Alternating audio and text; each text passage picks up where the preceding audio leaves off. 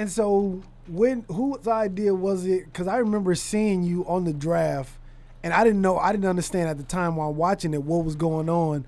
Who idea was it for you to to walk across the stage on draft day that day? Uh, Adam, Adam Silver. Really? Mhm. Okay. He just called you was like, "Hey man, we want to still have you at the draft or cuz I know he invited your whole family out." Yeah, he had reached out to my agent um, and told us that he still wanted us to make the trip, and uh, you know that he wanted to do something for us special. We didn't know exactly what it was going to be, um, but he the one who planned that for us, him and the NBA.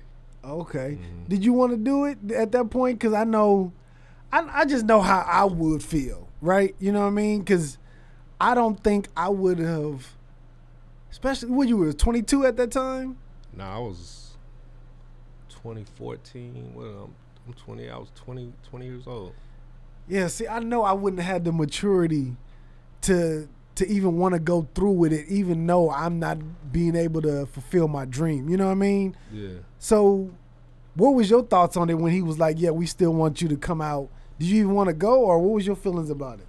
uh, I kind of had to put my personal problems to the side, man, because I remember I had, you know, Ray Forsett, you know, he he had sat me down like that night, that same night, and he was just like, you know, this this got to be bigger than you. You know what I'm saying? He just mm. kept telling me that, like, it's got to be bigger than you. It's got to be bigger than you. So I was just like, you know what?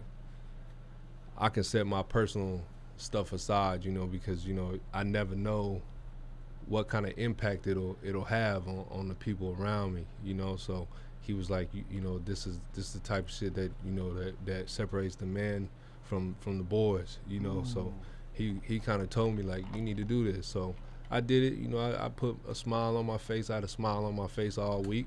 You know, when I was up there at, at the draft, you know, I didn't take no time to mourn. I didn't take no time to, you know, really lose all that emotion out of my body. You know what I'm saying? And, Yeah. uh, you know, I did what I had to do, and um, I ended up this this is where I go because it ended up being beneficial for somebody else who I never even met in my life. You know, a kid named Owen Gray. His dad was watching the draft that night when I walked across the stage, and when I came down, they had interviewed me on ESPN, and they were asking me like, who, what is Marfan syndrome? Um, I remember like the Marfan organization they had briefed me before this. Like they were like they're gonna ask you this question and you need to have these answers, you know, so people can have the right information if they don't if they've never heard about it. Mm-hmm. So um, basically, they interviewed me. I told people like what Marfan syndrome looks like on the outside. You know, like what what to look for for somebody if if they have Marfan syndrome, like elongated limbs. You know what I'm saying? Problems with their eyes, uh, indented chest, things like that. Skinny frame, tall, and uh, the kid Owen Gray, his dad ended up watching the draft that night. Took his son to the doctor the next day. Found out that he had Marfan syndrome saved his life because he had to have open heart surgery. Wow. Yeah. Wow.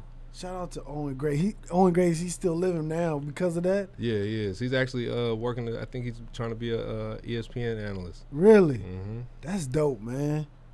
That's dope. See, I don't I don't think I would have had the maturity at 20 to see past my emotions, you know what I mean? But shout out to to Ray for even being able to guide you through that. That's why mentors are so big because, you know, they able to to see past what we're able to see as the person that's going through it, you know what I mean? So that's big, man. That's Yeah. super big. Yeah.